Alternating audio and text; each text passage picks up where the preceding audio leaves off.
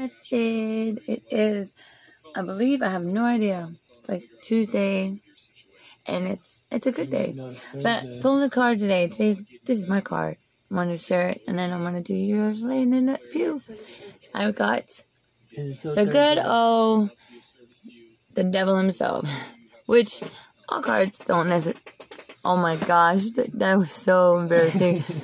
so, um, attachment, restriction, commitment, limitations. The devil is a card of indulgence and material pleasure. When the devil appears, there is something you do that feels good, but not good for your well being. You know you shouldn't have another glass of wine, or hit of the duster, or charge those shoes to your credit card, or fall into bed with that troublesome lover or user, but you do it anyway. You may be ignoring your higher self and disconnected from the spirit, and if you are, you're some way deceiving yourself. Sometimes the devil shows up when a little fun is exactly what you need. Sometimes we need to let go and break our rules and forget about the consequences until tomorrow. There you have it, the devil. Um, I'll yours. You ready? Again, this is using the app. I'll pull mine out. I think I'm quite confident enough to be ready to do that, but why not go live with it, right? There's too much unstableness going on. Okay. Card for you, and you will know who you are when you hear it.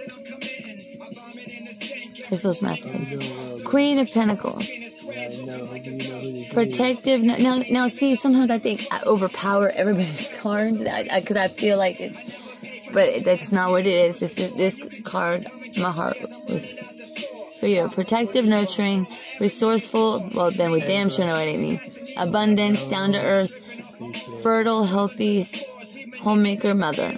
The card could represent a person you know or will encounter or some aspects of yourself or is to call upon now or sitting beside me. The Queen of Pentacles is a very practical, organized woman. Um, secure. Um, she likes to secure her home and creating a comfortable environment for the one she loves. She makes sensible decisions and steady, sustainable progress, meaning she's a hustler by herself and she's maintaining. She's well grounded and emotionally balanced. She cares and protects others. She's nurturing mother. And when she appears in a reading, fertility may be represented. She's nine weeks pregnant. And this card is funny. The Queen of Pentacles has a concern for the environment and makes efficient use of resources. She is soothed by spending time in, it says nature, but I'm going to put junior. Sorry. Krystle's method. So I'll be back with the next episode for your reading. I gave you your reading this way. I didn't just didn't know it.